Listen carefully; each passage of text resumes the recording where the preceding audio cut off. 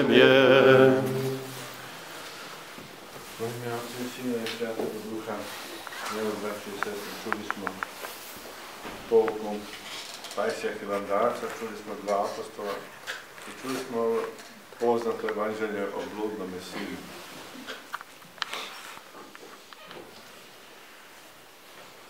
Pajsijah i Vandača je dao pouku koju je davao Sveti Vasilje Veliko, koga danas baš slavimo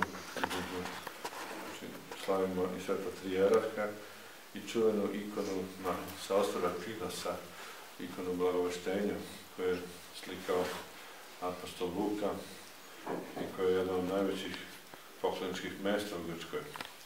Sve to danas slavimo.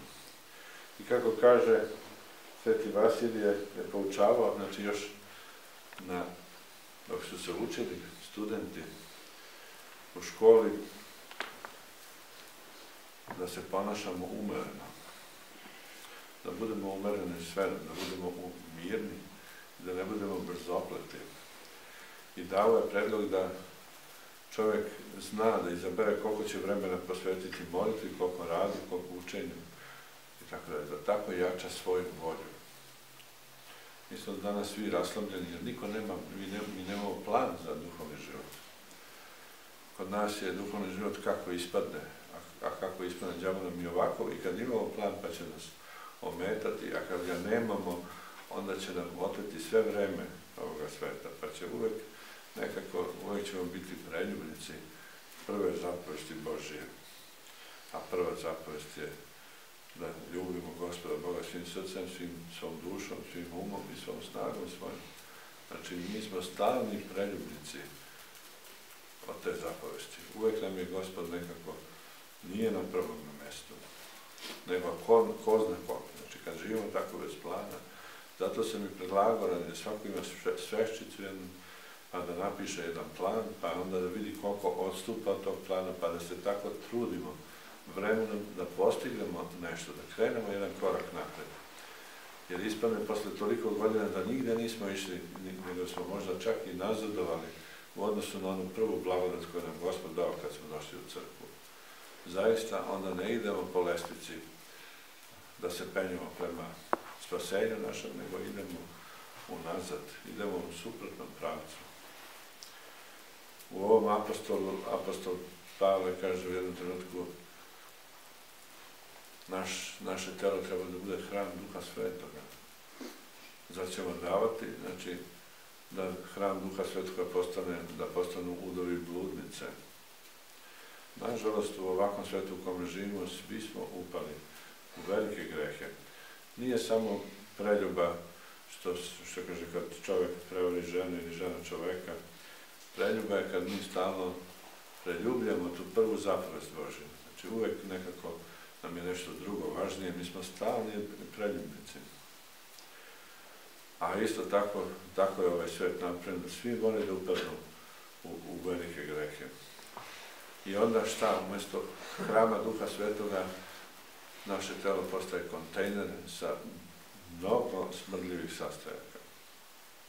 Jer zato nam je teško, odatle su ove sve teške bolesti. Bolest je plata greha. I svi smo mi bludni sinovi. Grci se šale na ovaj dan, pa, pa jedan drugom čestitaju kao praznik. Ali u svakoj šali ima, nažalost, mnogo zbilje. A mi još više, što kaže, mi smo se odvojili, kod Grka tradicija nikad nije prekidana što se tiče crkve i, i, i, i ide ka spasenju, a kod nas je bila i tekako, što kaže, ovaj, prekinuta dolaskom bezbožnih vlasti i držanjem, što kaže, i proganjanjem onih koji su htjeli da idu puta spasenja. Tako da se upalo u mnogo i mnogo svega toga. I svi smo mi bludni sinovi. U ovoj priči o bludnom sinu, otac je nebeski otac. Šta je bogatstvo? Bogatstvo je ono kad smo mi uz nebeskog oca. Kada ga slušamo, kada živimo po zapovestima Božjim, onda se u nas useljava istinsko bogatstvo, a to je blagodat Duha Svetoga.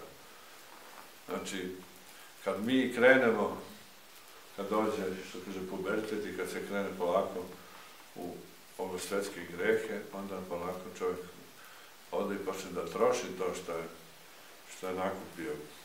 Znači, od njega ode sva blagodat. Ako odemo u stranu zemlju, strana zemlja, to je zemlja greha, a to je kad se odvojimo od svoga nebeskog oca i kad počnemo da idemo za svetom.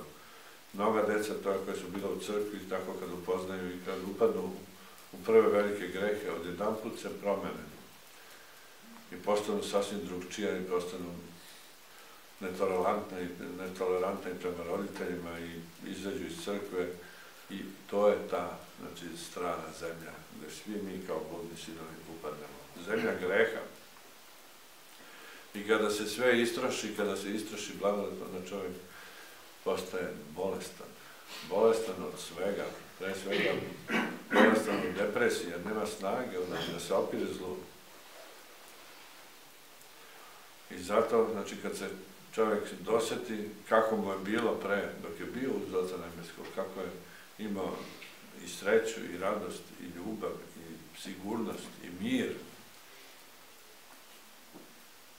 Samo kad poželi da se vrati u to stanje i kad, kad počne da se kaje, kad pomisli o tome da treba da se pokaje, kaže, otići ću ocu svom i reći ću, nisam dosta da se nazovem sinom tvojim.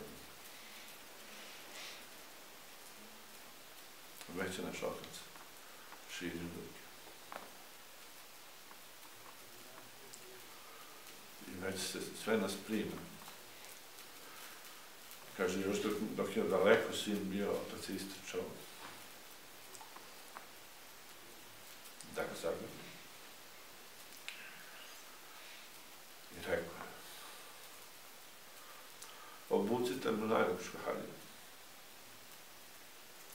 svakom grešniku koji se kaje, koji se iskreno kaje. Otac naš nebeski oblači takvu haljinu. I dajte mu prste, kaže. I onda je otac priredio veliko veselje, jer je živa sina dočekao i se sin pokajao. A mnogi od nas, kad vidimo da se čovjek pokajao, znajući njegov prošli život, počnemo da gunđamo i kažemo šta će ovaj tu sad? Šta će ovaj sad tu? Bivši komunista ili bivši kriminalac ili bivši ovaj ili bivši narkoman. Kaže, brat nije hteo da uđe, naljutio se. E da ne bude i nama, da ne uđemo mi u carstvo nebesko tako osuđujući nekoga ko se već pokaja. Jer to će nama biti veliki greh. Jer Gospod je rekao, budite milostivi, znači, ko oprašta i njemu će se oprostiti, ko ne oprašta, njemu se neće ništa oprostiti. Da ne bude to kamen spoticanja da uđemo u carstvo nebesko.